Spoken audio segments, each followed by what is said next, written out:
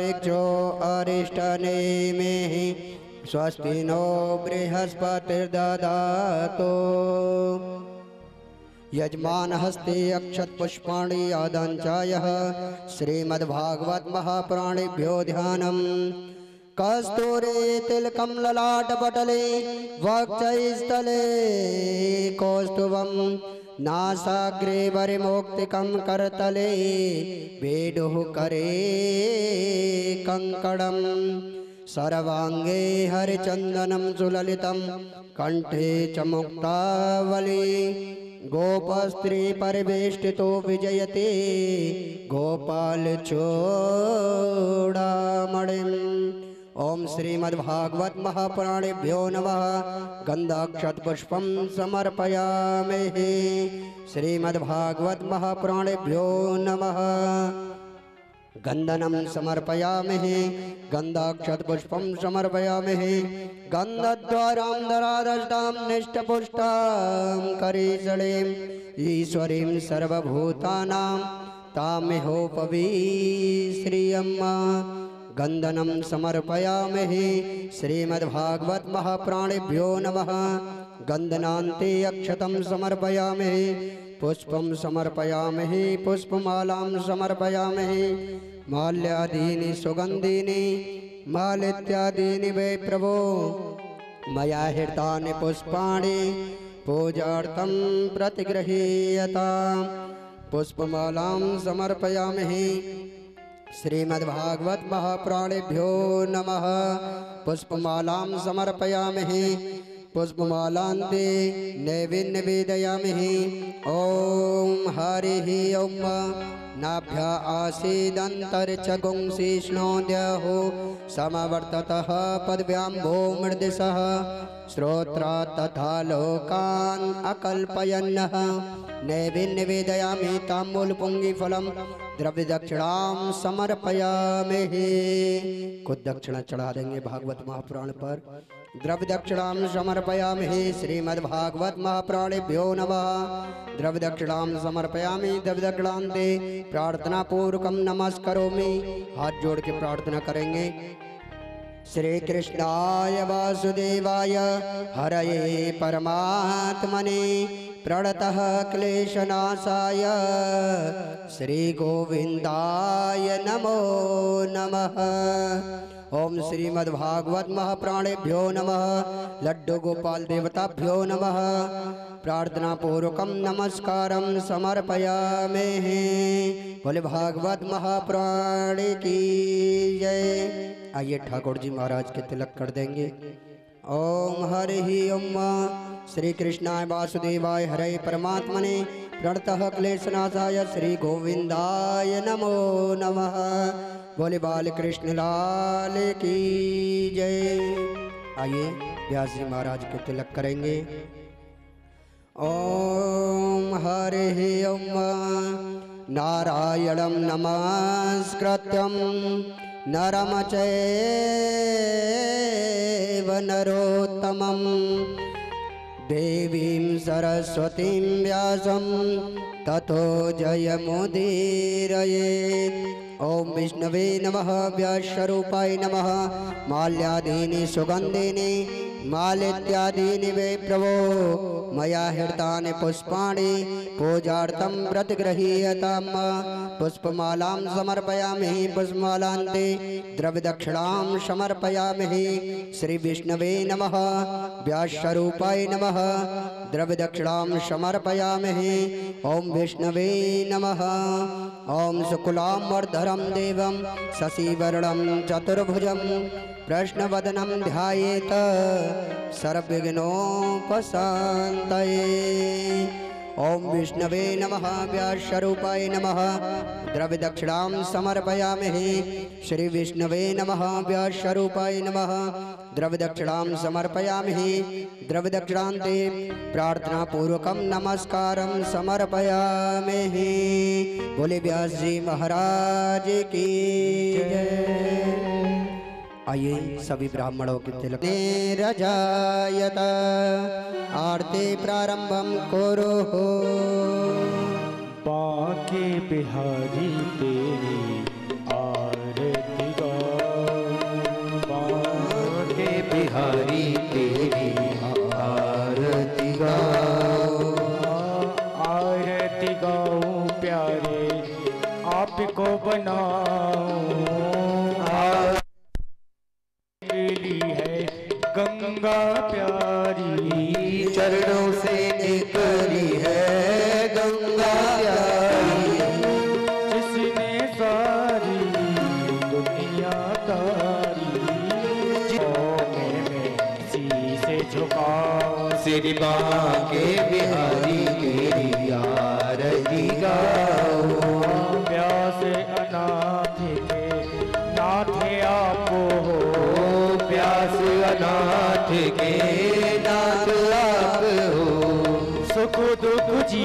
प्यारे साथ आपो सुख दुख जीवन प्यारे साथ आपको।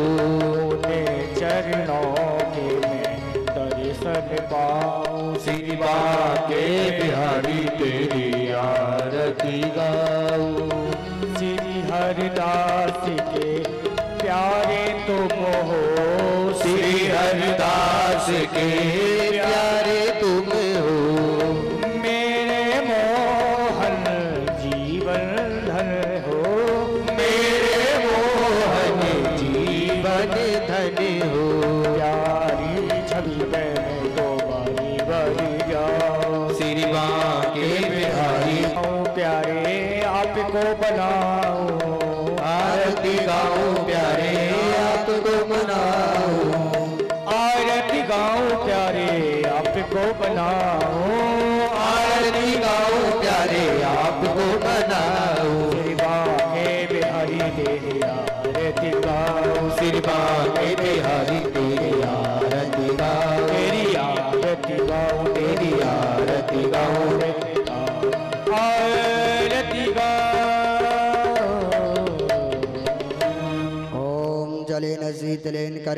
પુષ્પૈ દેવ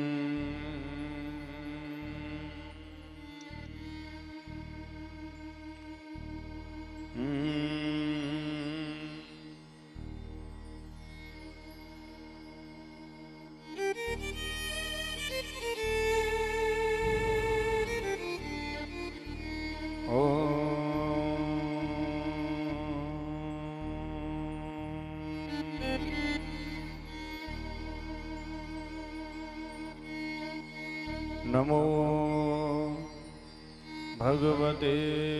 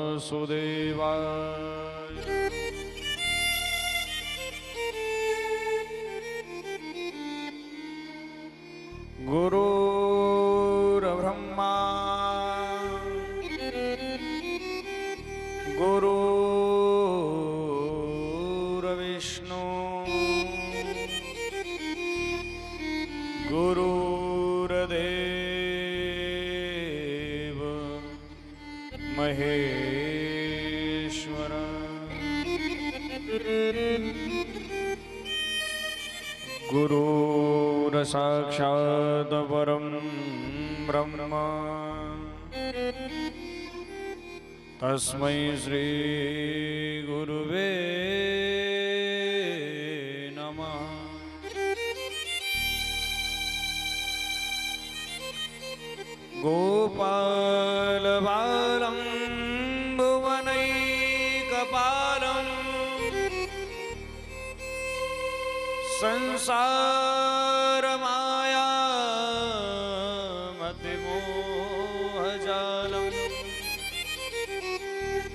यशो विशालं शिशुपालकालं पालं मुकुन्दं मनसा स्मरामि।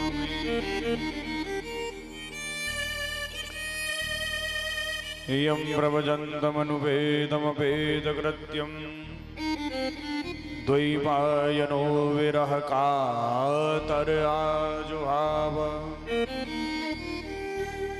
पुत्रेति तन्मयतया। तरवो विनेन्दु। तं सर्वभूतहृदयं मुनिमानतोऽस्मि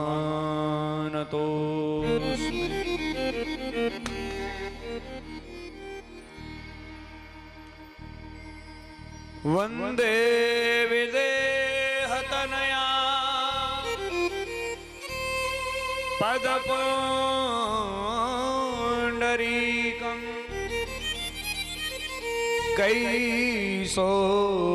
कैसोरसौरभसमा हितयोगचित्तम् हन्तोऽन्त्रताप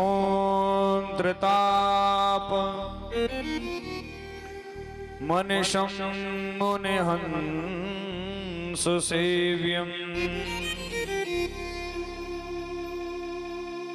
सम्माय परिपीडितपलासपुण्यम्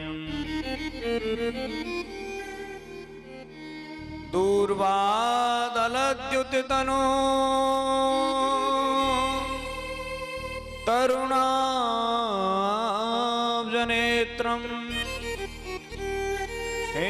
हेमाम्बरं विभूषित भूषिताङ्गम्।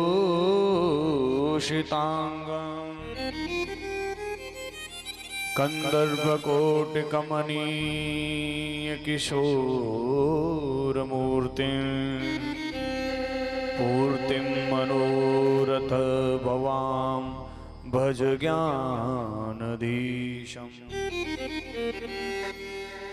यत्र यत्र रघुनाथकीर्तनं तत्र तत्र कृतमस्ति काञ्जले वाष्पवारि परिपूर्णलोचनं। मारुतिं नमत राक्षसान्तकम् गङ्गातरङ्गरमणीयजटा कलापम् गौरी निरन्तरविभूषितवामभागम् नारायणप्रियमनङ्गमदापहारम् वाराणसीपुरपदिं भज विश्वनाथम् सच्चिदानन्दरूपाय विश्वोत्पत्त्यादिहेतवे।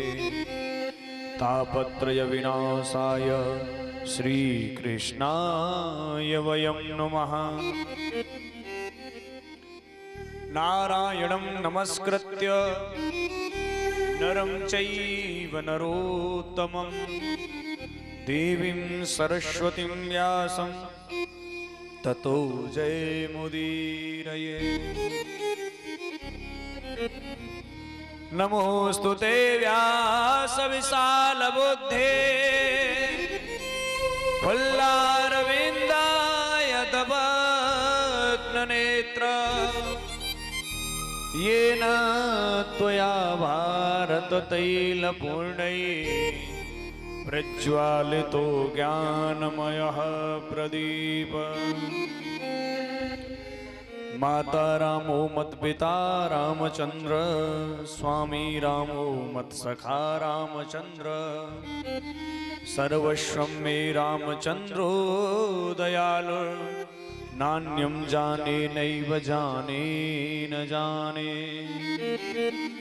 यया सर्वमिदं व्याप्तं जगत्स्थावरजङ्गमं तां धेनुं शिरसां वंदे भूतभवश्यमातरम्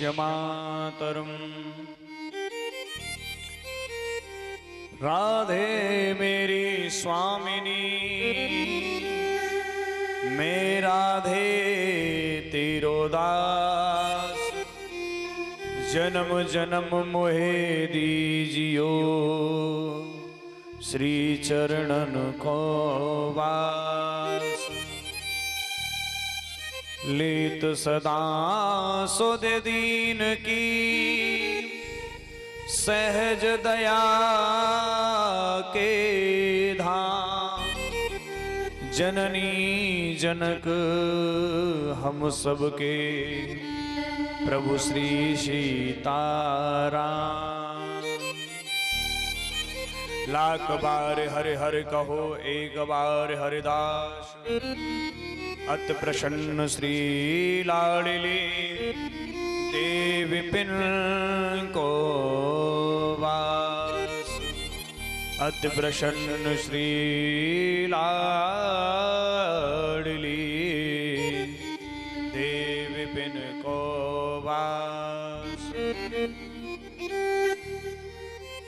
बोले श्रीमद् भागवत महापुराण की।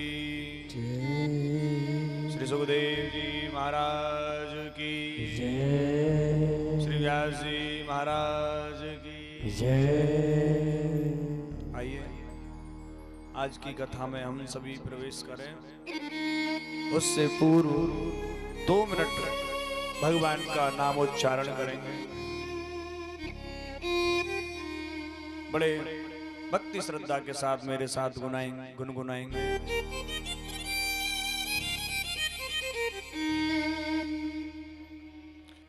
हरे रामा, राम राम, सीता राम राम राम।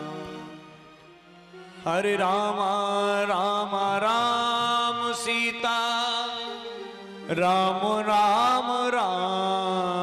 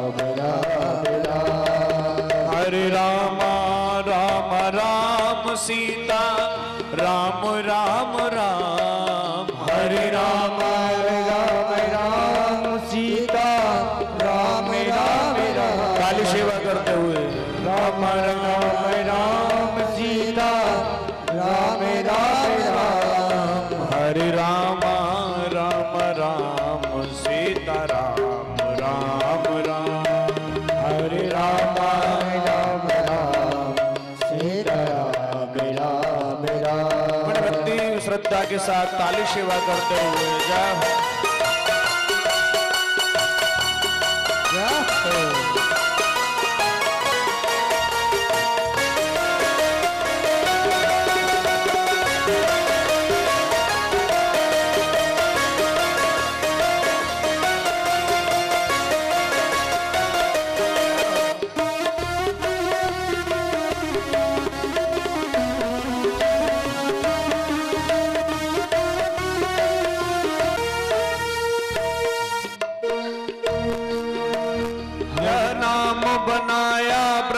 पूज्य गणपति को एक पल में। यह नाम बनाया प्रथम पूज गणपति को एक पल में। यह नाम बनाया प्रथम पूज गणपति को एक पल में। मिल गया यही अब लंब नाम सबरी को जंगल में।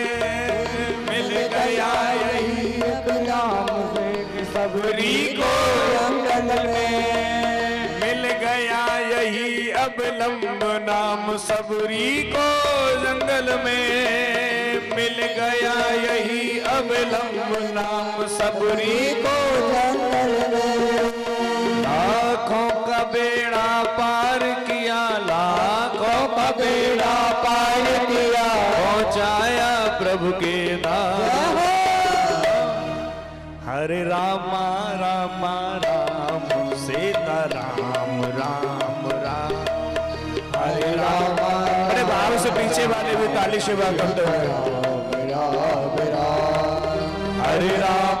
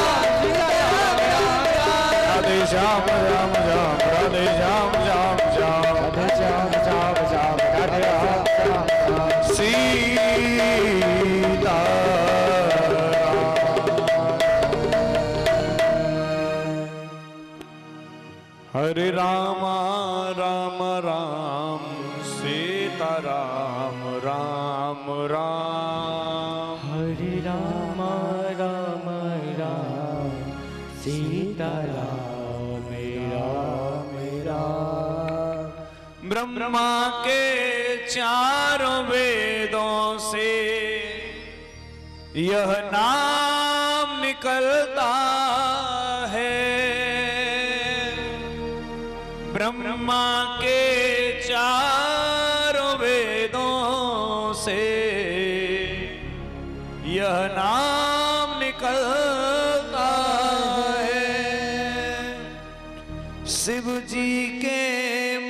मानस मंदिर में दीपक सा जलता है। शिव जी के मानस मंदिर में दीपक सा जलता है।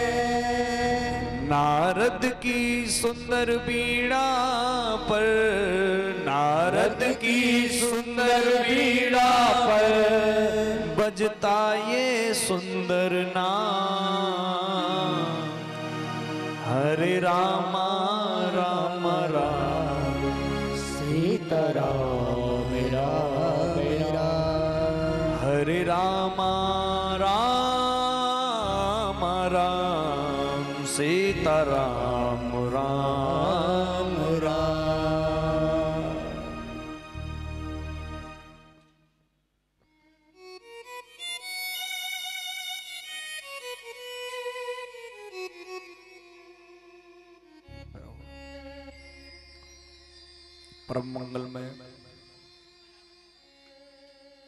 परात पर अकारण करुणा वरुणालय।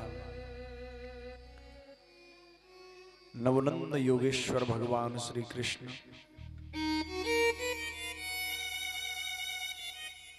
उनकी वांगमयी प्रतिमूर्ति, शब्दमयी प्रतिमूर्ति।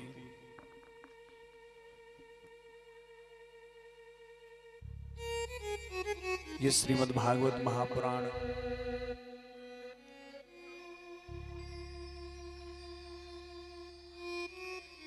गत पाँच दिनों से इस कथामृत का सभी पान कर रहे सभी भक्तजन। सभी मात्र शक्तियाँ भाई, बंधु, बालक, बच्चे। इन सभी के हृदयंगम हमारे आराध्य ठाकुर श्री बांके बिहारी। और सभी भक्त वृंदों को इस व्यासपीठ से जय श्री राधे जय श्री कृष्ण।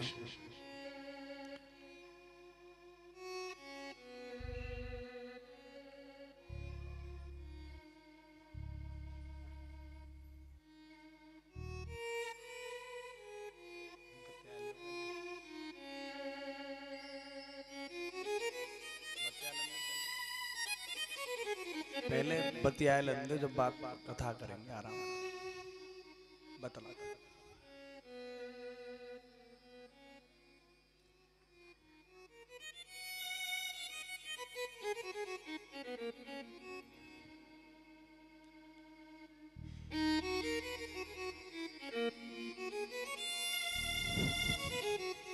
बोलो राधे राधे। कहाँ तो पहले दो तीन दिन बोल नहीं रही थी।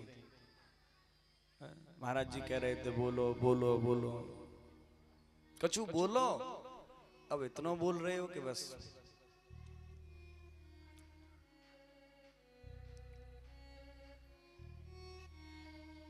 नैमी सारण्य की पावन भूमि। श्री सूत जी महाराज अट्ठासी हज़ार सौनकादिक ऋषियों को इस कथा का दिव्यानंद लाभ प्राप्त करा रहा है।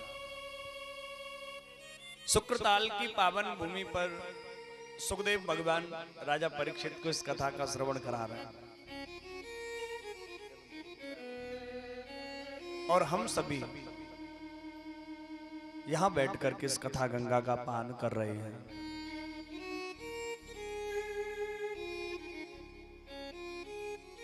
सूजी महाराज सोन का अधिक अट्ठासी हज़ार ऋषियों को कथामृत पान करा करके उनके हृदय करण को तृप्त कर रहे हैं। परीक्षित श्राप बस अपने कल्याण के लिए इस कथा को गंगा के तट पर बैठ करके कथा सुन रहे हैं। बड़े बड़े ऋषि मुनि बड़े बड़े महंत, मुनिंद्र, महात्मा, अवलात्मा, ऋषि, ब्रह्म ऋषि राज ऋषि इस कथा का आनंद सुखदेव भगवान के मुखारविंद से ले रहे हैं।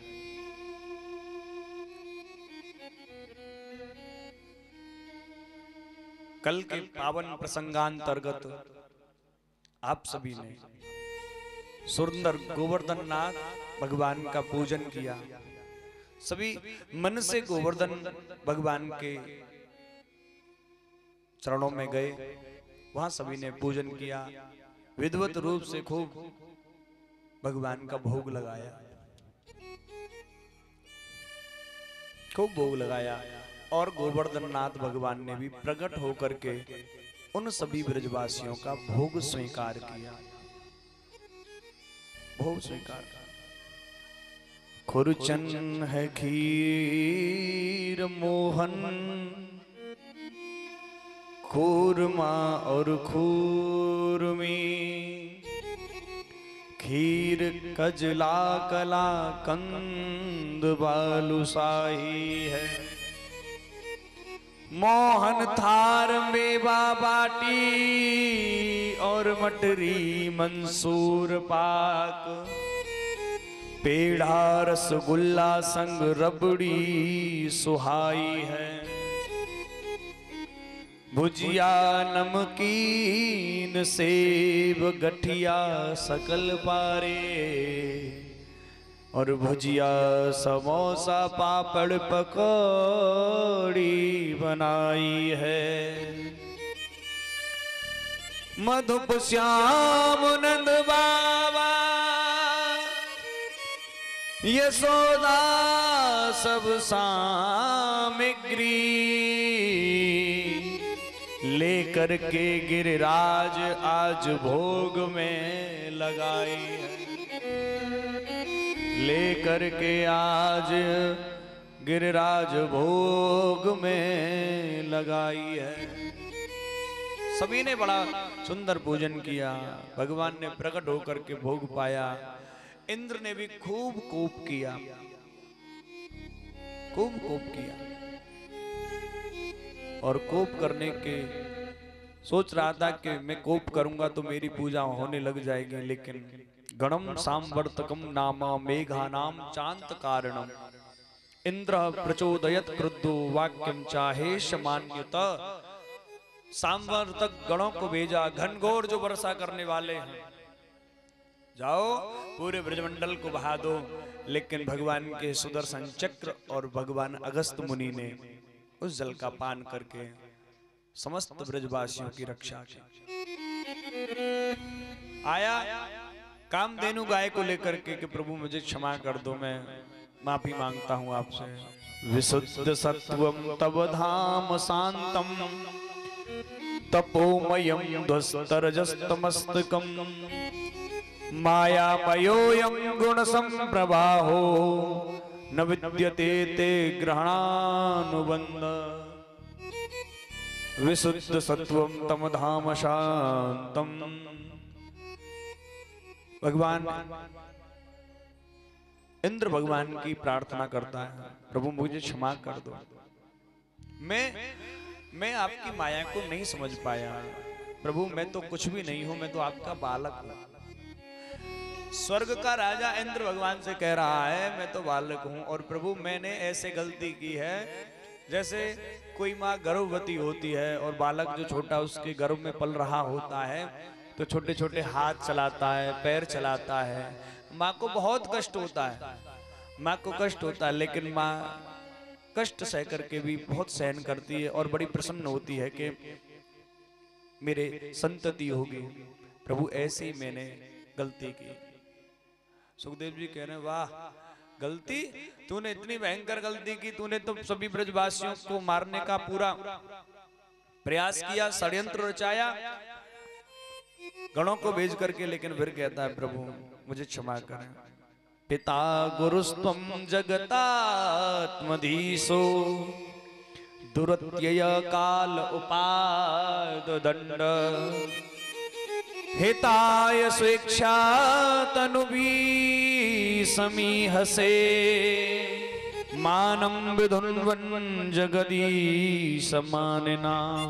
प्रभु, मैं तो आज तक ये ब्रजवासी मुझे आज तक अपना करता धरता स्वामी मानते रहे, लेकिन पिता गुरुस्तुम जगदात्मधीशो जगत के पिता तो केवल आप हैं, जगत के आदि अंत तो केवल प्रभु आप हैं, आप तो जगत गुरु हैं। जगत गुरु हैं प्रभु, आप मुझे क्षमा करें। और प्रभु ने क्षमा कर दिया। जा। प्रसन्न हो गए। सुखदेव जी कहते हैं, परीक्षित, जिस दिन से भगवान ने गोवर्धन पर्वत उठाया है ना, उन ब्रजवासियों को टेंशन हो गई है। बोलो, राधे राधे।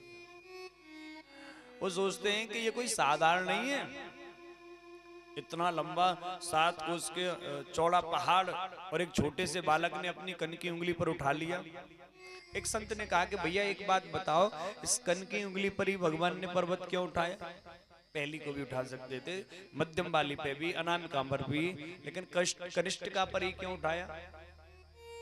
तो एक संत ने बहुत सुंदर भाव कहा, भैया, इसलिए उठाया कि एक बार ये लड़ती हुई अंगूठा और ये चारों उंगली लड़ते हुए भगवान के पास पहुँचे। सभी कह रहे थे, छोटी वाली उंगली से अंगूठा कह रहा था, देख, कहीं भी जब कुछ किसी को नाम करना हो या नाम लेना हो या कुछ भी तो सबसे पहले अंगूठा। मैं सबसे बड़ा हूँ। पहली वाली उंगली बोली, तुम बड़े नहीं हो, बड़े तो हम हैं। बोले, जहाँ जो कार्य नहीं होता हो, वहाँ पर हम वो कार्य करा देती हैं। हमारी सब, मैं ही सबसे पहले चलती हूँ, ये कार्य इसने किया, ये ऐसे इसने किया, यही चलती है, महाराज। बोली, मैं सबसे बड़ी हूँ। बीच वाली बोली, नहीं नहीं, तू बड़ी नहीं है। सबसे बड़ी तो मैं हूँ, मैं सबसे लंबी हूँ, मोटी हूँ, मैं सबसे बड़ी हूँ। अनाम का बोली कि तुम में से कोई बड़ी नहीं है, मैं बड़ी हूँ। मेरा कार्य पूजन में होता है, मेरे से भगवान को तिलक लगाया जाता है।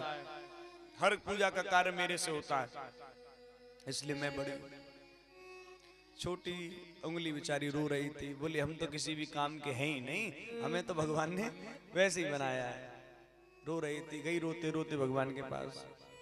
तब भगवान ने सांत्वना दी, उंगली, तू चिंता मत कर। एक दिन ऐसा आएगा कि अंगूठा सोचेगा कि भगवान मेरा उपयोग करेंगे। पहली वाली उंगली सोचेगी, मेरी, मेरा उपयोग करेंगे मध्यम नाम का ये सभी सोचेंगे। लेकिन जो कार्य मुझे करना होगा, वो मैं तेरे द्वारा कर दूँगा। और भगवान ने इन सभी का मान तोड़ने के लिए कनिष्ठिका का प्रयोग किया। भगवान कैसे हैं? भगवान तो छोटे व्यक्ति को बड़ा बनाने वाले हैं। जो छोटा होता है, उसको भगवान सबसे पहले देखते हैं। बड़ों को तो दुनिया देखती है। बड़े लोग होते हैं, उनको तो दुनिया देखती है। दुनिया चाहती है कि उनके साथ हमारा फ़ोटो हो जाए, उनके साथ हमारी मीटिंग हो जाए, उनके साथ हमारा ये संबंध स्थापित हो जाए। लेकिन छोटे लोग, छोटे लोगों से कोई संबंध नहीं बनाना चाहता। अच्छा एक बात तो है, जब कोई व्यक्ति गाँव का और शहर जा रहा हो, और जिससे मिलने जा रहा है, वो बहुत बड़ा आदमी हो, बहुत बड़ा आदमी बस में बैठ जाएगा, और जैसे ही बस में बैठेगा, सोचेगा कि कोई हमसे ये पूछे कहाँ जा रहे हैं। बस कोई पूछ ले, हमसे कि हम कहा जा रहे हैं, और ना भी पूछे तो बस अपना संबंध रिश्तेदारी या जानकारी निकाल करके, भैया, कहाँ से आए हो? बोले, यहाँ से आए कहाँ जा रहे हो? बोले, वहाँ जा रहे हैं। अरे, हम भी जा रहे हैं उनके यहाँ पे। अच्छा उनके यहाँ पे जा रहे हैं? अरे, उनका तो हमने बहुत नाम सुना है। बोले हाँ बस वो हमारे दूर के रिश्तेदार हैं, उनसे मिलने के लिए जा रहे हैं। हम उनके यहाँ पे जा रहे हैं। तो बड़े लोगों से हर कोई संबंध स्थापित करना चाहता है। लेकिन भगवान कहते हैं, भैया बड़े तो बड़े ही होते हैं बड़े तो बड़े ही होते हैं। और भगवान केवल छोटों को ऐसी बात नहीं है कि बड़ों को छोटों बड़ों को नहीं देखते हो बड़ों को भी देखते हैं। तभी होते हैं रिश्तेदार जिनके जर पास होता है। अच्छा रिश्तेदार भी उसी के होते हैं जिसके पास धन संपत्ति प्रतिष्ठा हो पद हो। तभी होते हैं रिश्तेदार जिनके जर पास होता है। बिगड़ जाता गरीबी में जो रिश्ता खास होता है। बिगड़ जाता गरीबी में जो रिश्ता खास होता बिगड़ जाता गरीबी में जो रिश्ता खास होता है। गरीब हो तो कोई पानी की भी ना पहुँच पूछे और थोड़ा सा न चमक धमक आ जाए थोड़ी सी जेब भारी हो जाए तो फिर सभी कहते हैं तो हमारे हैं, हमारे ये रिश्तेदार हैं, हमारे भैया बंधु हैं। हमारे रिश्तेदार हैं। और किसी संत ने बड़ा सुंदर भाव गाया। देख लिया संसार, हमने देख लिया देख लिया संसार, हमने देख लिया देख लिया संसार, हमने देख लिया देख लिया संसार, हमने देख लिया, देख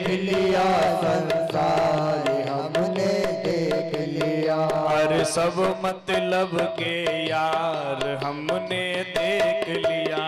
सब मतलब के यार हमने देख लिया। हाँ सब मतलब के यार हमने देख लिया। सब मतलब के यार हमने देख लिया।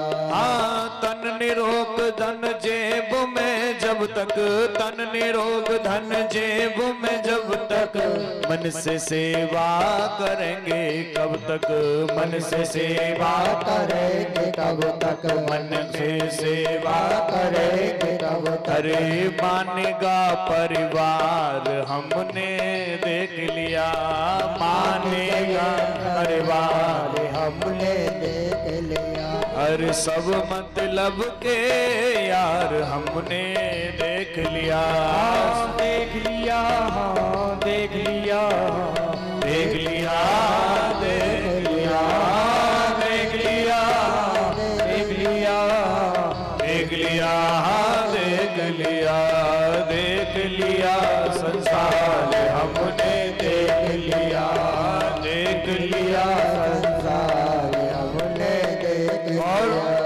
जिस जिस पर विश्वास किया जिस जिस पर विश्वास किया। हाँ उसने हमें निराश किया। उसने हमने निराश किया। हाँ, उसने हमें निराश किया। उसने हमें निराश किया। मन का रिश्ता खास हमने देख लिया। मन का रिश्ता रिश्ता खास हमने देख लिया। मन का रिश्ता खास हमने देख लिया। देख लिया, संसार हमने देख लिया। देख लिया, संसार हमने देख लिया। देख लिया, संसार हमने देख लिया। देख लिया, संसार हमने चोट लग जाए, तन को कहीं चोट लग जाए। तन अरे कहीं चोट लग जाए, तन को कहीं चोट लग जाए। तन को सभी समझते हैं निर्धन को सभी। समझते हैं निर्धन को अरे गिरती हुई दीवार हमने देख लिया, गिरती हुई दीवार।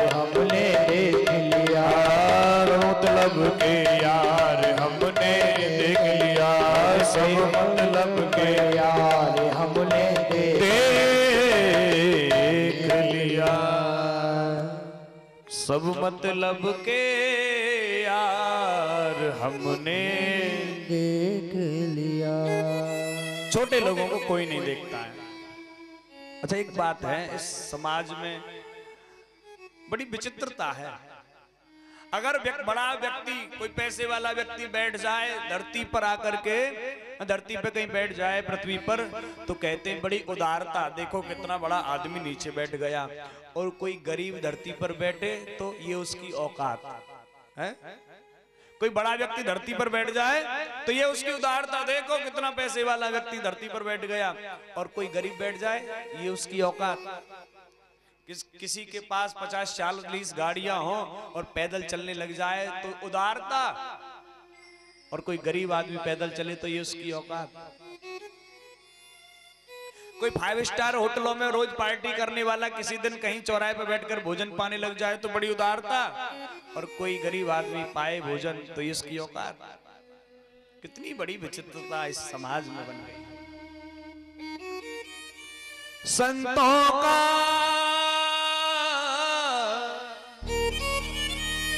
संदेश यही है। सफल मंत्र राजेश यही है। हर सुमिरन सार हमने देख लिया। हरि सुमिरन सार हमने देख और भगवान ने इस उंगली पर उठा करके इसका मान बढ़ाया। परीक्षित भगवान छोटों को बड़ा करने वाले हैं। छोटों को बड़ा। जिस दिन से भगवान ने पहाड़ उठाया, वो गिरिराज महाराज उठाए, पूरे ब्रज में बात फैल गई कि ये जो नंद को छोरा है, ये कोई साधारण नहीं है। फिर ये भगवान है, कोई देवता है, और छोटे छोटे ब्रजवासी इकट्ठे होकर के आ गए। रेता पेता दामा श्री दामा मनसुखा। हाँ, टेढ़ी टांग को मनसुका भी आ गया। सब आ गए इकट्ठे होकर के। कन्हैया तो बोले कन्हैया। और कुछ ब्रजवासी भी आ गए बालक वृद्ध युवा सभी। सभी ने ठाकुर जी को घेर लिया प्रभु को घेर लिया और जैसे घेरा सभी ने कहा भैया एक बात बता तू को है? कन्हैया बीच में बैठे हैं और सभी ने जैसे ही प्रश्न किया कि तू को है? भगवान ने कहा, भैया, पागल वागल हो गए हो, हैं? अरे, मैं तुम्हारा वही कन्हैया। तुम मेरे ब्रजवासी, ये सब मेरे मित्र, ये दादा, ये दादी, ये बाबा, ये अम्मा, ये सब मेरे ही तो हैं। मैं इनका हूँ। तभी ब्रजवासी पीछे पड़ गए, भैया, नहीं, तू सही बता। तू को है? क्यों? भैया, जब तेने पहाड़ उठायो और पहाड़ उठाने के बाद हमने तो ते ये कही, भैया, तू अपनी उंगलियाँ ने घटाइयो, हम अपनी अपनी लठियान ने लकुटियान ने लगाए। तेने अपनी उंगली थोड़ी सी नीचे कुकी और हमने जैसी अपनी लकुटियाँ लगाई तो हमारी जो लकुटियाँ आई, जो लठी आई, वो सब टूट टूट करके गिर पड़ी। पर तेरी उंगली को बाल भी बांको ना है, भयो, भैया, इतनी ताकत और इतना लंबो चौड़ो गिरिराज महाराज का तू समझते, ये बात परे है, तू सही सही बता, को है? तू को है, तू सही सही बता। भगवान चक्कर में पड़ गए, आज तो इन्होंने घेर लिया। आज तो घेर लिया। तो भगवान ने कहा, देखो, एक बात बताओ। जब मैं पर्वत उठा रहा था, जब मैंने वो पहाड़ उठायो, पर्वत उठायो, गिरिराज महाराज उंगली पर उठाए तो ये बताओ कि तुम्हारी नज़र कहाँ पर थी? बोले, भैया, हमारी नज़र कहाँ पड़ती? तेरी उंगली की तरफ़ ही। कन्हैया बोले, लो तो बस, तुम मेरी उंगली की तरफ़ देख रहे थे। तुम्हारे अंदर जो ताकत थी, जो बल था, वो सब बल मेरी उंगली में आ गया। और उसी बल के प्रभाव से मैंने गिरिराज महाराज को उठा लिया। मंजुका बोलो अच्छा तो ये बात है, हम जब ही तो सोचे कि हम बिना पानी को दूध पिए, हम इतने दुबले पतले है, रहे, खूब माखन खाएँ और तू, महाराज, दिन दूनो रात चौगनो चौड़तो जा रहो। है, हमारी समझ, हम सोचे, हमारी माँ जब की है कि ये दूध दही, भैया, हमने तेरे संग माखन चुरायो, तेरे संग मटकी फोड़ी, तेने चीर चुरायो। लेकिन तू तो हम तो एक कदम और आगे बढ़ गए तू तो हमारी ताकत भी चुराने लग गए। तभी प्रभु ने कहा कि भैया ये सब तुम्हारी ताकत तो थी ही लेकिन किशोरी जी की भी कृपा थी। किशोरी की भी कृपा थी। कछु माखन को बल बढ़ियो कछु गोपन ने करी सहाय। श्री राधे जू की कृपा सो मैंने गिरवर लियो उठा। किशोरी की कृपा से मैंने इतने बड़े चौड़े गिरिराज महाराज को कन की उंगली पर उठाया। भैया, मैंने किशोरी जी की कृपा से और एक बात है, किशोरी जी की कृपा जिसके ऊपर हो जाए, उसको फिर कभी किसी का, किसी और कृपा का, अन्य कृपा का मुख नहीं देखना पड़ता। दरबार में बंसी वारे के दुख दर्द मिटाए जाते हैं।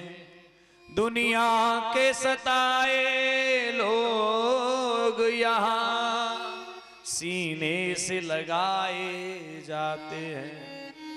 अब दुनिया के पास जाओगे, दुनिया आपकी औकात देख करके बात करेगी। आपके पास कितना बैंक अकाउंट है बैलेंस है, कितनी संपत्ति है, क्या है, ये सब देख करके, लेकिन ठाकुर जी तुम्हारी संपत्ति को ना देखे। वो तुम्हारी, तुम्हारे शरीर पर पहने हुए कपड़ों को नहीं देखता, वो तुम्हारे हाथ में कितना लंबा चौड़ा फ़ोन है मोबाइल है, उसको नहीं देखता। फिर वो तो केवल तेरे अंदर जो भक्ति है, जो प्रेम है, केवल उसी को देखता है। वो तुम्हारे वस्त्रों को, आभूषणों को, तुम्हारे भोजनों को नहीं देखता है। भगवान कहते हैं। सुखदेव जी कहते हैं, परीक्षित ऐसो को उदार जग माही, बिनु सेवा जो द्रवही दीन पर राम सरस को नाही, ऐसो को उदार जग माही। जयंत! रामचरित्र मानस में बड़ी सुंदर कथा है। जयंत आया, भगवान राम जी बैठे थे। वेणी गूत रहे थे, सीता मैया की बैठे बैठे जयंत आया। और चौंच मार के भाग गया। सीता जी ने कहा, देखो, इंद्र का ये बेटा कितना पागल हो गया है। और पैर में आकर के चौंच मार करके चला गया है। रक्त बहने लगा। राम जी ने देरी नहीं की, वहीं से एक तिनका लिया और उसी को बाण बना करके छोड़ दिया। आया था चरण में चौंच मारने के लिए। भागता रहा त्रिलोकी में, लेकिन किसी ने रक्षा नहीं की। नारायण के पास गया, ब्रह्मा के पास गया, इंद्र के पास गया। शंकर जी के पास गया किसी ने भी उसको शरण नहीं दी। नारद जी मिल गए। हाँपता हुआ जा रहा था। नारद जी ने पूछा, क्या हुआ? बोले, क्या बताऊँ? नारद जी, वहाँ गया था, मैंने चौंच मार दी। अब मेरी रक्षा त्रिलोकी में कोई भी करने वाला नहीं है, क्या करूँ? बोले, जा। जहाँ तूने जिस चरण में चौंच मारी है, उस उन्हीं चरणों को जाकर के पकड़ ले। तेरा कल्याण हो जाएगा। बोले अगर प्रभु ने बोले नहीं नहीं अगर पूछे तो कह देना। पहले क्यों आया था? बोले पहले प्रभु में चौंच मारने के लिए आया था लेकिन पहले जब मैं आया था तो सोचा कि प्रभु का प्रभाव कैसा है। राम सीता राम जी और सीता जी इनका प्रभाव कैसा है? और जब तू शरण में जाएगा तो कह देना प्रभु अब की बार मैं आपका स्वभाव देखने आया हूँ कि आपका स्वभाव कैसा है। जयंत गया।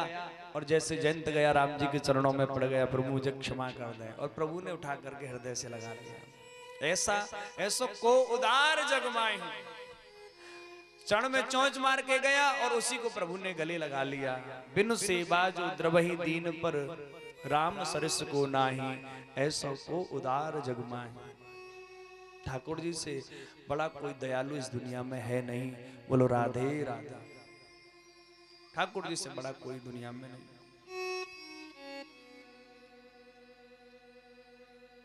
ऐसे हमारे ठाकुर जी सुखदेव जी कहते हैं परीक्षित भगवान ने बड़ी सुंदर लीला के द्वारा सभी ब्रजवासियों को आनंद प्रदान किया। और इसके बाद में ब्राह्मण पत्नियों पर कृपा की।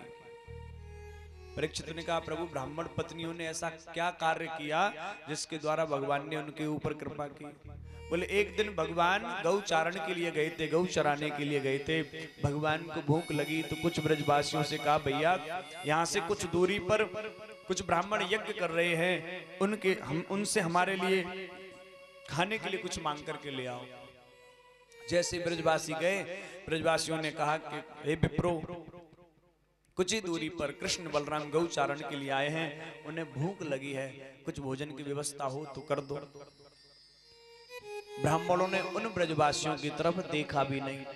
बस स्वाहा स्वाहा, सहस्र शीर का पुर का सहस्राक्ष, सहस्रपात भूमि गुंग सर्वत स्मृतवा तिष्ट दशांगुलम नारायणाय नमः, स्वाहा। नारायण को आहुति, लक्ष्मी को आहुति आहुति आहुति डालने में स्वाहा स्वाहा करने में लगे। देखा भी नहीं। काफ़ी देर तक खड़े रहे ब्रजवासी, लौट करके आए। प्रभु, जब लौट करके आए तो प्रभु ने देखा, ये तो खाली आता है। बोले, भोज भोजन लेकर के नहीं आए? बोले, हमने जाकर के ब्राह्मणों से कहा, उन्होंने हमारी तरफ़ देखा भी नहीं। बोले, किसके पास गए थे ब्राह्मणों के पास? बोले, अब की बार ब्राह्मण पत्नियों के पास जाओ। और जैसे ब्राह्मण पत्नियों के पास गए, और सुना कि ठाकुर जी, राम कृष्ण बलराम कुछ दूरी पर गौचारण के लिए आए हैं। भूख लगी है, प्रसन्न हो गई। भगवान का नाम सुन रखा था कि छोटे से बालक ने पूतना को मारा, अघासुर को मारा, बकासुर को मारा, तृणावर्त को मारा, केसी को मारा बड़े बड़े राक्षसों को मार करके भगवान की लीला का स्मरण कर रखा था, सुन रखा था। तो भगवान से प्रेम हो गया उनको, ब्राह्मण पत्नियों को कि हम भगवान का दर्शन करना चाहते हैं। और सुंदर भोजन बनाकर थाली में सजा करके भगवान के पास गई। ब्राह्मणों ने टेढ़ी दृष्टि करके देखा, कहा जा रही हो? मानो आँखों ही आँखों से कहा कि जिसको तुम स्वाहा स्वाहा करके पाना चाहते हो, आज आज उस जगत नियंता को हम अपने हाथों से भोजन पवाने के लिए जा रहे हैं। ब्राह्मण पत्नियाँ गईं। ब्राह्मण पत्नियों ने ठाकुर जी को अपनी गोदी में बैठा करके भोजन पवाया। और भगवान ने बड़ा स्वागत किया। स्वागतम वो महाभागा। आस्यताम करवाम किम यन्नोदि दृक्षया प्राप्ता उपपन्न विदम हिवा। माताओं, हे ब्राह्मण पत्नियों, में आपका स्वागत करता हूँ। अब ब्राह्मण पत्नियों को मैं प्रणाम करता हूँ। आप बड़ी भाग्यशाली हैं, भाग्यवती हैं, जो मेरे लिए भोजन बना करके लाई भोजन बना करके लाई भगवान ने बड़ा सुंदर ब्राह्मण पत्नियों के हाथों से भोजन पाया और भोजन जैसे ही खिलाया भगवान ने खूब आशीर्वाद दिया। ब्राह्मण पत्नियों ने कहा कि प्रभु हम अपने घर जाएँगे तो हमारे पति रुष्ट होंगे हमको डांटेंगे। तब भगवान ने कहा कि चिंता मत करो। अब तुम्हारे पति तुम्हारे से कुछ नहीं कहेंगे। और जब लौट करके आई तो ब्राह्मणों के सर झुके हुए थे। सोचने लगे कि आज हमसे कितना बड़ा पाप हो गया, जिसको हम यहाँ पर अग्नि में खोजने की कोशिश कर रहे हैं। यहाँ पर आहुति पर आहुति डाल रहे हैं। सुबह से भूखे पेट बैठ जाते हैं, शाम को उठते हैं। और आज हमारी पत्नियाँ उस जगत पिता को, जगदीश को, जगतपति को स्वयं अपने हाथों से भोजन पवा करके आ रही हैं। ब्राह्मण बोले, देवियों, जी चाहता है कि तुम्हारे चरणों को चूम लें। जी चाहता है तुम्हारे हाथों को चुम लें, क्योंकि तुमने इन हाथों से प्रभु को स्पर्श किया और अपने हाथों से भगवान को भोग पवाया आज ब्राह्मण लज्जित हो गए। धिग जन्म नेस्त्र विद विद्याम धिग बहुज्ञता, धिग कुल, धिग क्रिया दाक्ष, पिमा खाए त्वजोक्षजे। हे देवियों, हमारे जन्म को धिक्कार है, हमारे जीवन को धिक्कार है। हम गोविंद से विमुख हो गए। ऐसा भाव उन ब्राह्मणों के प्रति जागृत हो गया, मन में जागृत हो गया। पत्नियों ने समझाया। और पत्नियों ने कहा कि आप नहीं जानते, जितना प्रेम वो हमसे करते हैं, उतना ही प्रेम आपसे करते हैं। और एक बात आपसे निवेदन करूँ घर को घर नहीं कहते। ईंट पत्थर के घर को घर नहीं कहते। फिर घर किसे कहते हैं? मनुष्य मनुस्मृति में वर्णन है, न ग्रहम ग्रह मित्याहु ग्रहणी ग्रह मुच्यते। ईंट पत्थर के घर को घर नहीं कहते। फिर विशुद्ध सत्व। ठाकुर जी की चरणों में जो प्रीति रखने वाली है, पति के चरणों में जो प्रीति रखने वाली है, ऐसी स्त्री को गृहिणी कहा जाता है, घर कहा जाता है। न ग्रहम ग्रह मित्याहु गृहिणी ग्रह मुच्यते और हम लोग घर समझते हैं, ईंट पत्थर के, सीमेंट, लकड़ी है, सुंदर लेंटर पड़ा है, सुंदर गाटर पटिया है, या ये है, वो है, ये घर नहीं है। ज़िंदगी एक किराए का घर है, ये शरीर भी अपना ये घर है। इसको तो हम घर ही समझ रहे हैं, लेकिन ये जहाँ बैठे हैं ये भी घर है एक। और जिस दिन हमारी श्वासें पूरी हो गई, धक्का मार करके भगा दिया जा चलो यहाँ से निकलो। काया कुटिया निराली जमाने भर से। ये नौ दरवाजे वाली जमाने भर से। बड़े बड़े संतों ने सुंदर सुंदर लेखन ऐसा लिख दिया महाराज, बड़ा बड़ा इतिहास भरा पड़ा है। ये शरीर किसी के काम नहीं आएगा, ना ये घर। धिक्कार नहीं लगे ब्राह्मण अपने आप को। और जब धिक्कार नहीं लगे, पत्नियों ने समझाया कि आप ऐसा मत सोचो, क्योंकि प्रभु तो बड़े कृपावान हैं, कृपा करने वाले हैं। अगर आप ये सोचोगे, आप ब्राह्मण हो, और ब्राह्मण कौन है? ब्राह्मण भगवान का मुख है। ब्राह्मणोष्य मुखमासीद बाहु। ब्राह्मण भगवान का मुख है क्षत्रिय भगवान की भुजाएँ हैं वैश्य भगवान का पेट है और शूद्र भगवान के चरण है। ब्राह्मणोष्य मुखमासीद बाहु राजन्य कृतः ऊरु तदस्य द्वेश्य पदव्याघ्रं शूद्रो अजायत। चंद्रमा मनसो जातस। और चंद्रमा के हम जब दर्शन करते हैं तो ये चंद्रमा कौन है? ये चंद्रमा भगवान का मन है, बोलो राधे राधे। ये चंद्रमा भगवान का मन है। कभी ये नहीं सोचना चाहिए, सूर्य भगवान के नेत्र हैं। और उन ब्राह्मण पत्नियों को, ब्राह्मण पत्नियों ने अपने पतियों को समझाया, और ठाकुर जी ने खूब खूब आशीर्वाद।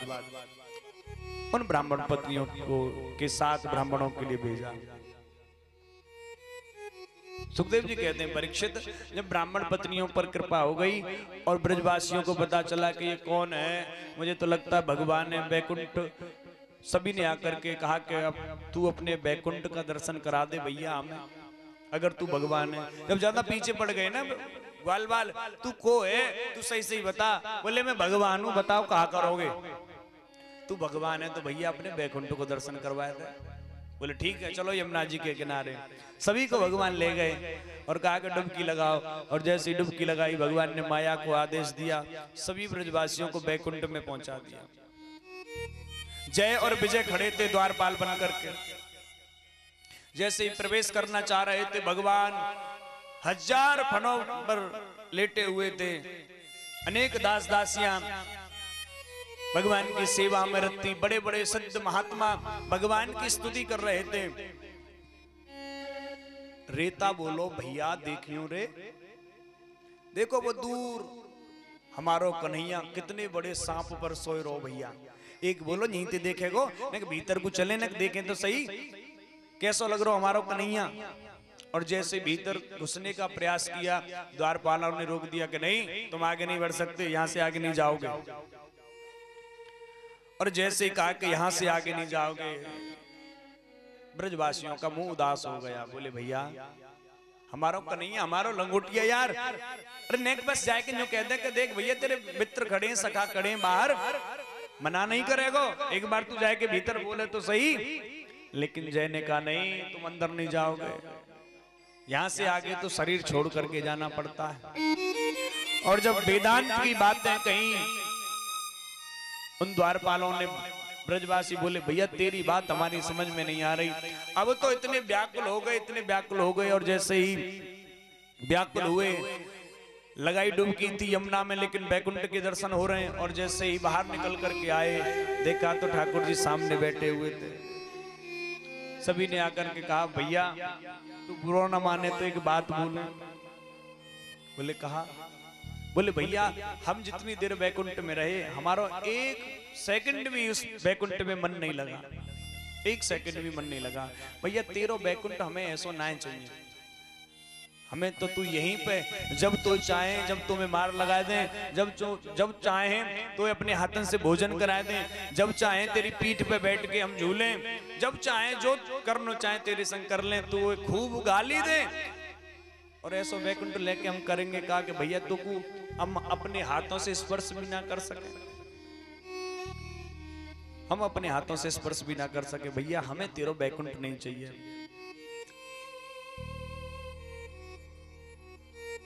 कन्हैया ने कहा, ठीक है, कोई बात नहीं। तुम्हें बैकुंठ नहीं चाहिए, लेकिन मैं तुम्हारे पास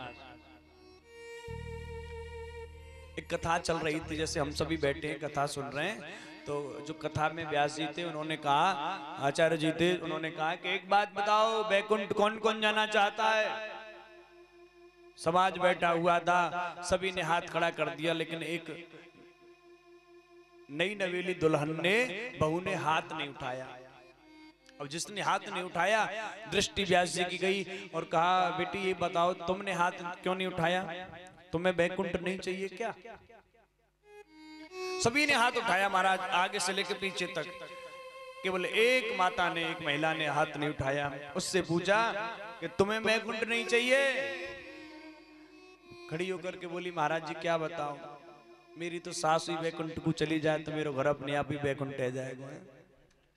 मेरी सास वैकुंठ को चली जाएगी तो घर मेरा अपने आप ही वैकुंठ रह जाएगा। तो बहुत से होते हैं ना कि हमें वैकुंठ नहीं चाहिए। सुखदेव जी कहते हैं, परीक्षित, भगवान ने सुंदर वैकुंठ का दर्शन कराया और इसके बाद बहुत सुंदर भगवान की एक लीला, जो भगवान ने बड़ी सुंदर लीला की।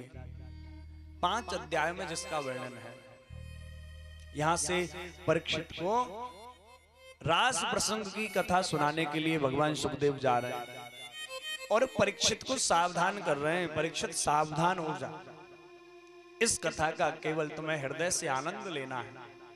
लोग उंगली उठाते हैं भगवान पर। जाने क्या क्या कहते हैं? अब वो कहें, वो जाने उनके मन की बात जाने। हमें तो केवल कथा का आनंद लेना है। सुखदेव जी कहते हैं, परीक्षित, इस रास पंचाध्याय की कथा का हर कोई अधिकारी नहीं होता है। क्यों? क्योंकि इस कथा में शरीर से कोई लेना देना नहीं है। इस कथा में तो आत्मा और परमात्मा का मिलन है। ये आत्मा और परमात्मा के मिलन की कथा है। प्रथम सुमिर भागवत बानी। भक्त भगवंत की वाणी। पहले खूब कथा सुने, सुनते सुनते कथाओं को भगवान के सत्संगों को करते करते जब हृदय में ठाकुर जी आ जाए, तब द्वितीय आराधे भक्ति। व्यास नव भांति भकानी। जब कोई भक्ति आकर के हृदय में डेरा डाल ले फिर तृतीय करे गुरु समझ। दक्ष सर्वाग रसीलो गुरु जी की शरण में जाए और दक्ष होकर के एक टक मन के द्वारा एक स्थान पर बैठ करके, होए चौथे होए विरक्त, बसे बन राज बसीलो विरक्त होकर के भगवान का है। और सबसे जो अंतिम सीढ़ी बताई वो है, पांचे भूले देह सुधे। तब छठे भावना रास की। तब छठे भावना रास की। जब देह का भान भी खत्म हो जाए परीक्षित, तब इस कथा का आनंद लिया जाता है। तब इस कथा का आनंद लेना। सुखदेव जी कहते हैं, परीक्षित, वो शरद पूर्णिमा की रात्रि अभी गई है, कुछ समय पहले शरद पूर्णिमा। उसी रात्रि को भगवान रास बिहार भगवान ने गोपियों के साथ रास बिहार किया था। और शरद पूर्णिमा की रात्रि जैसे ही आई, भगवान सुंदर यमुना के किनारे पहुँचे और जैसे यमुना के किनारे पहुँचे, परीक्षित भगवान ने सुंदर वेणु का निनाद किया। सुंदर वेणु का निनाद। और जैसे ही सुंदर वेणु का निनाद किया, जिस जिस गोपी ने भगवान की उस बांसुरी को सुना वो गोपी जिस कार्य को कर रही थी परीक्षित, उस कार्य को वहीं पर छोड़ करके भगवान के पास दौड़ी दौड़ी आई। भगवान के पास दौड़ी दौड़ी। मानो, उसको लग रहा था कि भगवान बांसुरी की धुन में मेरा नाम पुकार रहे हैं। मेरा नाम ले ले करके हमें पुकार रहे हैं। जो गोपी सुनती है, वही दौड़ करके भगवान के पास आती है। भगवान ने ऐसी सुंदर वाणी का निनाद किया। रिकाना तेरी बांसुरी नींद चुराए, नींद चुरा के हमें अपना बनाए नींद चुरा के मुझे अपना बनाए। हाँ, नींद चुरा के हमें अपना बनाए। नींद जागृत हो गया। पत्नियों ने समझाया। और पत्नियों ने कहा कि आप नहीं जानते, जितना प्रेम वो हमसे करते हैं, उतना ही प्रेम आपसे करते हैं। और एक बात आपसे निवेदन करूँ, घर को घर नहीं कहते। ईंट पत्थर के घर को घर नहीं कहते। फिर घर किसे कहते हैं? मनुष्य मनुस्मृति में वर्णन है, न ग्रहम ग्रह मित्याहु ग्रहणी ग्रह मुच्यते। ईंट पत्थर के घर को घर नहीं कहते। फिर विशुद्ध सत्व, ठाकुर जी की चरणों में जो प्रीति रखने वाली है, पति के चरणों में जो प्रीति रखने वाली है, ऐसी स्त्री को गृहिणी कहा जाता है, घर कहा जाता है। न ग्रहम ग्रह मित्याहु गृहिणी ग्रह और हम लोग घर समझते हैं, ईंट पत्थर के, सीमेंट, लकड़ी है, सुंदर लेंटर पड़ा है, सुंदर गाटर पटिया है, या ये है, वो है। ये घर नहीं है। ज़िंदगी एक किराए का घर है। ये शरीर भी अपना ये घर है। इसको तो हम घर ही समझ रहे हैं, लेकिन ये जहाँ बैठे हैं, ये भी घर है एक। और जिस दिन हमारी श्वासें पूरी हो गई, धक्का मार करके भगा दिया जा चलो यहाँ से निकलो। काया कुटिया निराली जमाने भर से। ये नौ दरवाजे वाली जमाने भर से बड़े बड़े संतों ने सुंदर सुंदर लेखन ऐसा लिख दिया, महाराज, बड़ा बड़ा इतिहास भरा पड़ा है। ये शरीर किसी के काम नहीं आएगा, ना ये घर। धिक्कार नहीं लगे ब्राह्मण अपने आप को। और जब धिक्कार नहीं लगे, पत्नियों ने समझाया कि आप ऐसा मत सोचो। क्योंकि प्रभु तो बड़े कृपावान हैं, कृपा करने वाले हैं। अगर आप ये सोचोगे, आप ब्राह्मण हो और ब्राह्मण कौन है? ब्राह्मण भगवान का मुख है। ब्राह्मणोश मुखमासीद बाहु। ब्राह्मण भगवान का मुख है, क्षत्रिय भगवान की भुजाएँ हैं, वैश्य भगवान का पेट है और शूद्र भगवान के चरण है। ब्राह्मणोश मुखमासीद बाहु राजन्य कृत। ऊरु तदस्य द्वेश्य पदव्याघ्रं शूद्रो अजायत। चंद्रमा मनसो जातस। और चंद्रमा के हम जब दर्शन करते हैं तो ये चंद्रमा कौन है? ये चंद्रमा भगवान का मन है। बोलो, राधे राधे। ये चंद्रमा भगवान का मन है। कभी ये नहीं सोचना चाहिए। सूर्य भगवान के नेत्र हैं और उन ब्राह्मण पत्नियों को, ब्राह्मण पत्नियों ने अपने पतियों को समझाया और ठाकुर जी ने खूब खूब आशीर्वाद। उन ब्राह्मण पत्नियों को, के साथ ब्राह्मणों के लिए भेजा।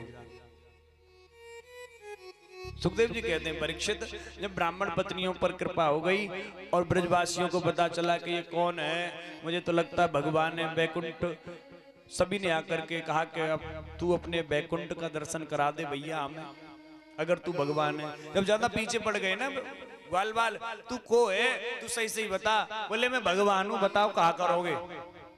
तू भगवान है तो भैया अपने बैकुंठ को दर्शन करवाए थे बोले, ठीक है, चलो यमुना जी के किनारे। सभी को भगवान ले गए और कहा कि डुबकी लगाओ। और जैसे डुबकी लगाई, भगवान ने माया को आदेश दिया, सभी ब्रजवासियों को बैकुंठ में पहुँचा दिया। जय और विजय खड़े थे द्वारपाल बन करके। जैसे ही प्रवेश करना चाह रहे थे, भगवान हज़ार फनों पर लेटे हुए थे। अनेक दास दासियाँ भगवान की सेवा में रखती बड़े बड़े संत महात्मा भगवान की स्तुति कर रहे थे। रेता बोलो, भैया, देखियो रे। देखो वो दूर, हमारो कन्हैया, कितने बड़े सांप पर सोए रो भैया। एक बोलो, यहीं ते देखेगो। नहीं भीतर को चले न, देखे तो सही। कैसो लग रहा हमारो कन्हैया और जैसे भीतर घुसने का प्रयास किया, द्वारपालों ने रोक दिया कि नहीं, तुम आगे नहीं बढ़ सकते, यहाँ से आगे नहीं जाओगे। और जैसे कहा कि यहाँ से आगे नहीं जाओगे, ब्रजवासियों का मुँह उदास हो गया। बोले, भैया, हमारो कन्हैया हमारो लंगोटिया यार। अरे नेक बस जाए के जो कहते कि देख, भैया, तेरे मित्र खड़े हैं, सखा खड़े हैं बाहर। मना नहीं करेगो। एक बार तू जाए के भीतर बोले तो सही। लेकिन जय ने कहा नहीं, तुम अंदर नहीं जाओगे। यहाँ से आगे तो शरीर छोड़ करके जाना पड़ता है। और जब वेदांत की बातें कही, उन द्वारपालों ने ब्रजवासी बोले, भैया, तेरी बात हमारी समझ में नहीं आ रही। अब तो इतने व्याकुल हो गए, इतने व्याकुल हो गए, और जैसे ही व्याकुल हुए लगाई डुबकी थी यमुना में, लेकिन बैकुंठ के दर्शन हो रहे हैं और जैसे ही बाहर निकल करके आए, देखा तो ठाकुर जी सामने बैठे हुए थे।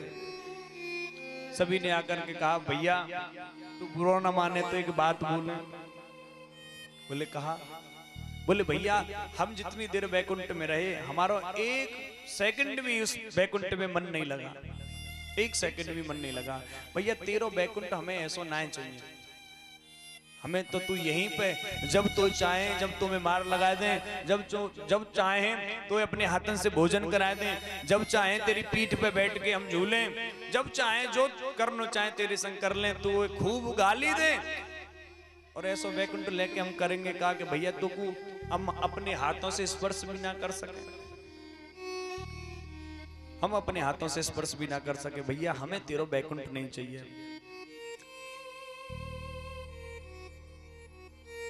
कन्हैया ने कहा, ठीक है, कोई बात नहीं। तुम्हें बैकुंठ नहीं चाहिए, लेकिन मैं तुम्हारे पास एक कथा चल रही थी, जैसे हम सभी बैठे हैं, कथा सुन रहे हैं तो जो कथा में व्यास जी थे, उन्होंने कहा, आचार्य जी थे, उन्होंने कहा कि एक बात बताओ, बैकुंठ कौन कौन जाना चाहता है? समाज बैठा हुआ था, सभी ने हाथ खड़ा कर दिया, लेकिन एक नई नवेली दुल्हन ने, बहू ने हाथ नहीं उठाया। अब जिसने हाथ नहीं उठाया दृष्टि व्यास जी की गई और कहा बेटी ये बताओ तुमने हाथ क्यों नहीं उठाया? तुम्हें बैकुंठ नहीं चाहिए क्या? सभी ने हाथ उठाया महाराज आगे से लेकर पीछे तक। केवल एक माता ने एक महिला ने हाथ नहीं उठाया। उससे पूछा कि तुम्हें बैकुंठ नहीं चाहिए? खड़ी होकर के बोली महाराज जी क्या बताओ मेरी तो सास ही बैकुंठ को चली जाए तो मेरा घर अपने आप ही बैकुंठ रह जाएगा। मेरी सास वैकुंठ को चली जाएगी तो घर मेरा अपने आप ही वैकुंठ रह जाएगा। तो बहुत से होते हैं ना कि हमें वैकुंठ नहीं चाहिए। सुखदेव जी कहते हैं, परीक्षित, भगवान ने सुंदर वैकुंठ का दर्शन कराया और इसके बाद बहुत सुंदर भगवान की एक लीला, जो भगवान ने बड़ी सुंदर लीला की। पाँच अध्याय में जिसका वर्णन है यहाँ से परीक्षित को रास प्रसंग की कथा सुनाने के लिए भगवान सुखदेव जा रहे हैं। और परीक्षित को सावधान कर रहे हैं, परीक्षित सावधान हो जा। इस कथा का केवल तुम्हें हृदय से आनंद लेना है। लोग उंगली उठाते हैं भगवान पर। जाने क्या क्या कहते हैं? अब वो कहें, वो जाने, उनके मन की बात जाने। हमें तो केवल कथा का आनंद लेना है। सुखदेव जी कहते हैं परीक्षित इस रास पंचाध्याय की कथा का हर कोई अधिकारी नहीं होता है। क्यों? क्योंकि इस कथा में शरीर से कोई लेना देना नहीं है। इस कथा में तो आत्मा और परमात्मा का मिलन है। ये आत्मा और परमात्मा के मिलन की कथा है। प्रथम सुमिर भागवत वाणी भक्त भगवंत की वाणी पहले खूब कथा सुने, सुनते सुनते कथाओं को भगवान के सत्संगों को करते करते जब हृदय में ठाकुर जी आ जाए, तब द्वितीय आराधे भक्ति, व्यास नव भांति भकानी। जब कोई भक्ति आकर के हृदय में डेरा डाल ले, फिर तृतीय करे गुरु समझ। दक्ष सर्वाग रसीलो गुरु जी की शरण में जाए और दक्ष होकर के एक टक मन के द्वारा एक स्थान पर बैठ करके होए, चौथे होए विरक्त, बसे बन राज बसीलो विरक्त होकर के भगवान का है। और सबसे जो अंतिम सीढ़ी बताई वो है, पांचे भूले देह सुधे। तब छठे भावना रास की तब छठे भावना रास की जब देह का भान भी खत्म हो जाए परीक्षित, तब इस कथा का आनंद लिया जाता है। तब इस कथा का आनंद लेना। सुखदेव जी कहते हैं, परीक्षित, वो शरद पूर्णिमा की रात्रि अभी गई है, कुछ समय पहले शरद पूर्णिमा। उसी रात्रि को भगवान रास बिहार भगवान ने गोपियों के साथ रास बिहार किया था। और शरद पूर्णिमा की रात्रि जैसे ही आई, भगवान सुंदर यमुना के किनारे पहुँचे और जैसे यमुना के किनारे पहुँचे, परीक्षित भगवान ने सुंदर वेणु का निनाद किया। सुंदर वेणु का निनाद। और जैसे ही सुंदर वेणु का निनाद किया, जिस जिस गोपी ने भगवान की उस बांसुरी को सुना वो गोपी जिस कार्य को कर रही थी परीक्षित, उस कार्य को वहीं पर छोड़ करके भगवान के पास दौड़ी दौड़ी आई। भगवान के पास दौड़ी दौड़ी। मानो, उसको लग रहा था कि भगवान बांसुरी की धुन में मेरा नाम पुकार रहे हैं। मेरा नाम ले ले करके हमें पुकार रहे हैं। जो गोपी सुनती है, वही दौड़ करके भगवान के पास आती है। भगवान ने ऐसी सुंदर वाणी का निनाद किया। रिकाना तेरी